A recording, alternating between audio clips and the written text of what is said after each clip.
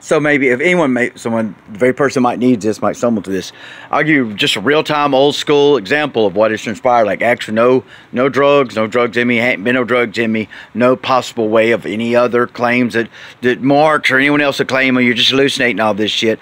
I unsubscribed from Christina something Lopez, the Heart Alchemist, and yeah, I mean my favorite. I mean probably my favorite. I mean it's like my, I mean just love her to death. I mean you know love her to life. I mean I mean, I mean thought I got some real like real good information from her and whatnot and all this. And like well you know I make a, the slaves you know as a representative of the slaves you know especially the, the children I make a, a simple practical suggestion. Well first give them the first step Christina. Let them know they're not spinning on a meaningless ball in a meaningless sea of uh, energy data that's pointlessly hurling fleeing away from each other as these as the system has presented them with a you know in their in their CGI solar system. Give them the first step, Christina. The first step. Allow the prisoners to take the first step.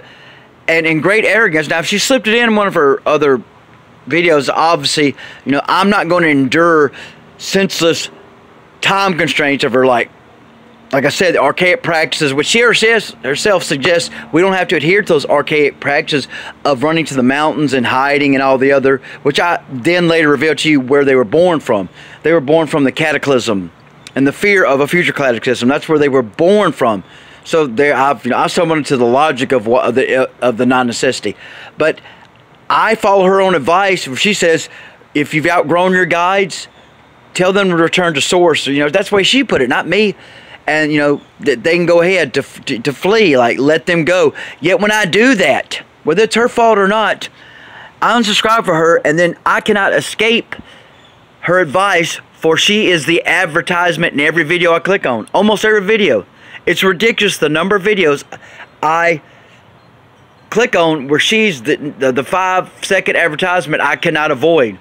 And I have to endure five seconds of her supposed superiority when she's the one that said return her to source.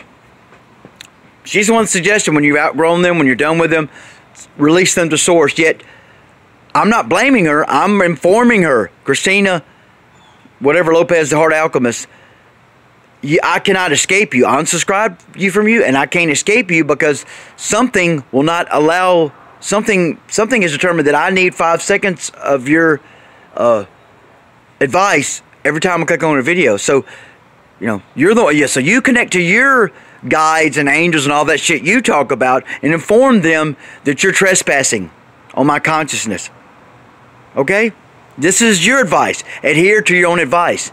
And I bring this up as an example for like how the everyone knows how the matrix works and when it gives the rules of the matrix, this is real time what's happening. I'm tired. If I need to subscribe to you again, or if you even wanted me to, if you ever wanted me to, is irrelevant. I unsubscribed for you because I'm not being hindered by the limitations of your advice. And the matrix, the realm, whatever, will not let me escape you. Now, why is that, Christina?